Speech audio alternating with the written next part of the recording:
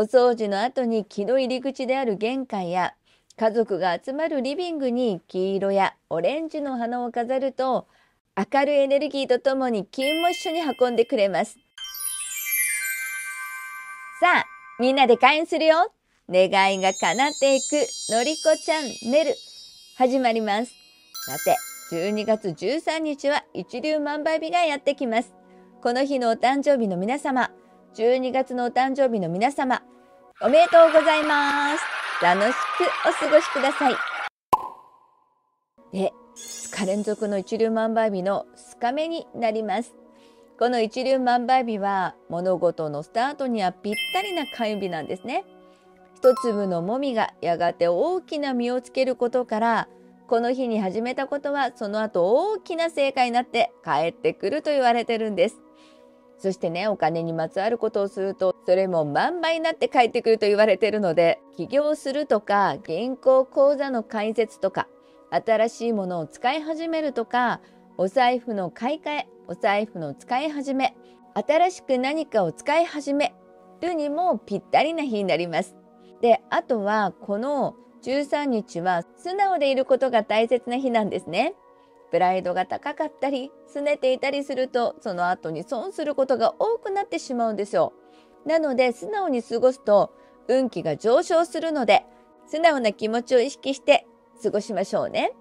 ということで今回は万倍に機運が大上昇するためのやったらいい会アクションを6つお伝えしますが最初の3つはこの日にやったらいい定番の会アクションで後半はこの日にやるといいことをお伝えしたいと思います。まずこの日にやったらいい定番の会アクション1つ目は会員フード最初に金運アップフードはいなり寿司いなり寿司は米俵をモチーフにして形作られていてお米の豊作を祈ってお供えされていたものなんです。でお米は金運アップに効果があっていなり寿司の油揚げは金運が宿ると言われているのでお金の袋なんですよ。金を包んだいなり寿司は金運を大上昇させる食べ物ですね。そして強運アップフードはシューマイ。豚のひき肉を使っているシューマイは仕事運や健康を上げてくれます。元気に精力的に動くことができて強運を自ら引き寄せていくことができるんです。そしてラブンアップフードはリンゴ。リンゴの赤い色は情熱の意味があって丸い形は人間関係を円滑にしてくれる効果があるんです。パートナーやご夫婦でリンゴを一緒に食べるといいですね。食べるときはできるだけ赤い色のリンゴを選ぶと2人の関係が深まります。また真実の愛を見極める力もあるので気になるお相手がいる方にもおすすめですからね。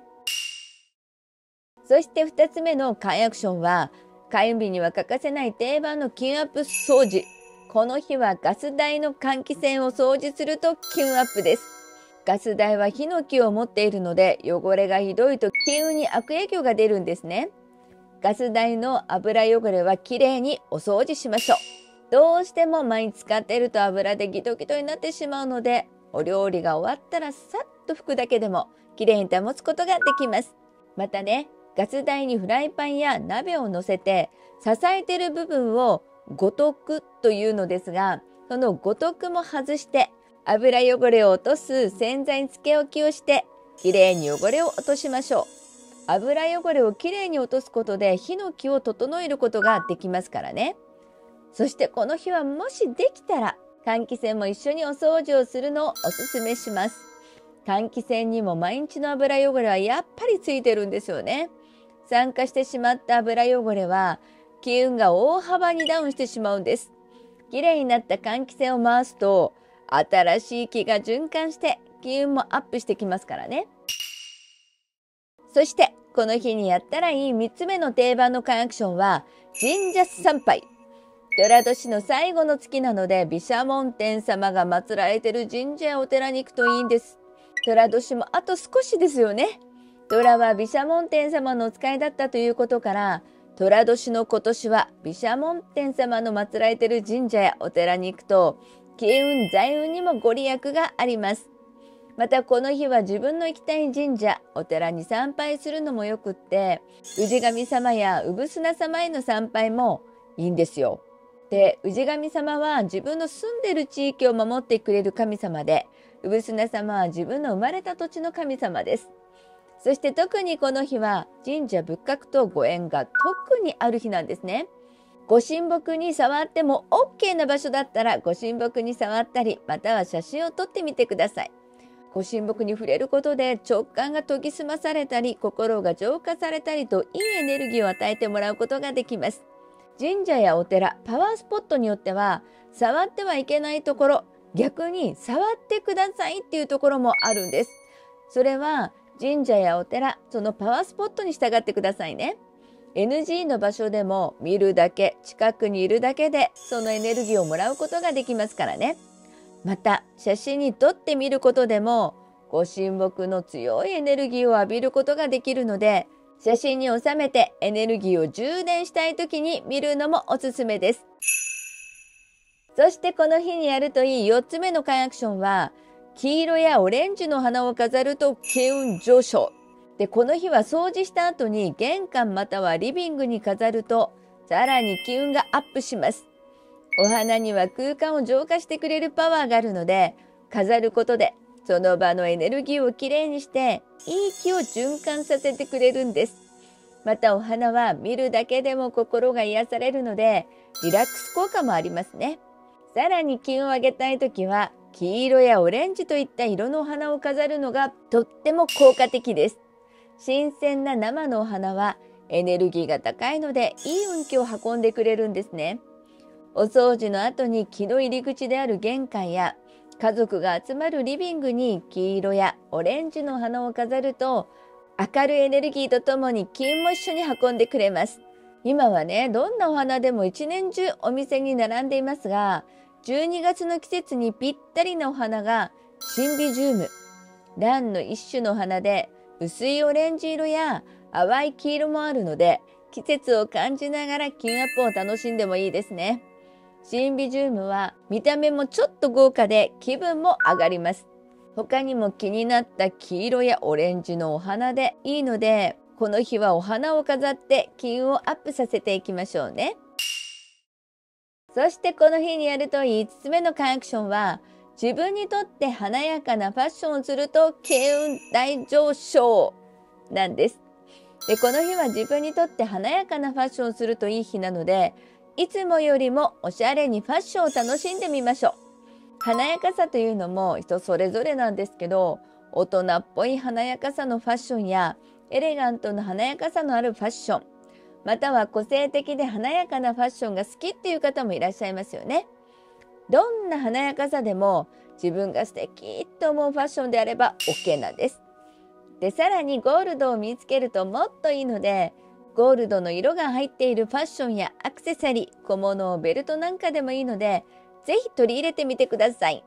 ゴールドは気運アップにものすごい効果があるので、華やかさとゴールドで気運上昇が倍になりますからね。そしてこの日にやるといい6つ目のカンアクションはお城に行く。この日のラッキースポットはお城です。でね、この日のお城のパワーがすごい日なんですよ。なのでお城のパワーを浴びるととってもいい日です。で、お城はもともと風水を考慮して建てられているものが多くて、そして見た目も美しくて、さらに強さも兼ね備えている建物。お城ならではの力強さにはすごいスピリチュアルなパワーがあるんです。お城には水堀があってお城に近づくには堀にかかった橋を渡って中に入ったりしますよね。さらに水堀を渡るとお城には立派な石垣があってそれだけでも力強い印象があります。まあ、有名なお城であれば戦国大名や藩主が実際にそのお城で暮らしていたっていう歴史も感じることもできたりして現代にいながらも古い歴史のあるお城のパワーをもらうことができます。今は五条院集めも流行っているので、御朱印と一緒におすすめです。またね、朗報です。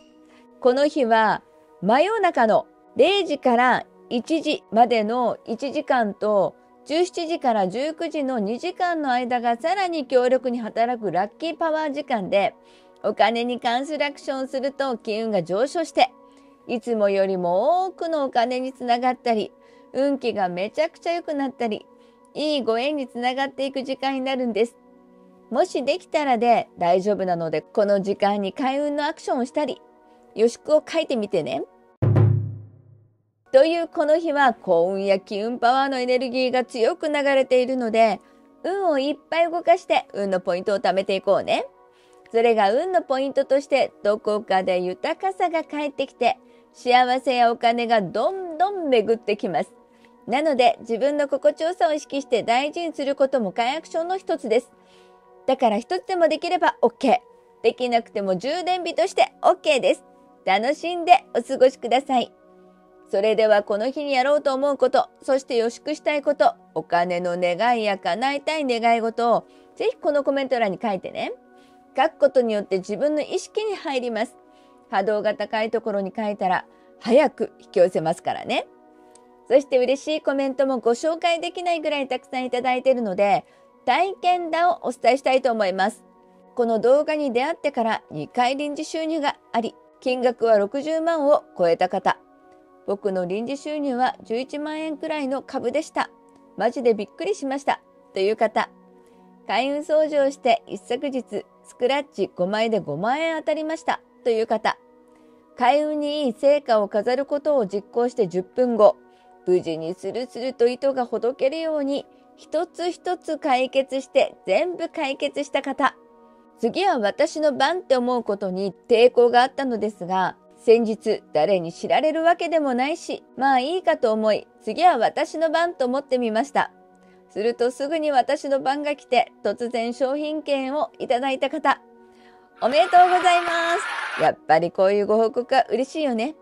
一つお願いがあります。体験談と予祝がわからなくなってしまって、予祝の時は予祝と書いてくださると大変嬉しいです。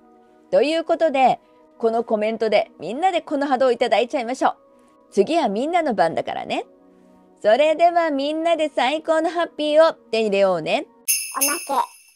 いつもみんなありがとね。この間、ネイルを買いに行ってきたんですけど、やっぱり大好きなボルドーにしました。久しぶりなんですよ。何年かぶりに全部の指にストーンつけたんですね。ちょっとキラキラでワクワクしてます。じゃあね。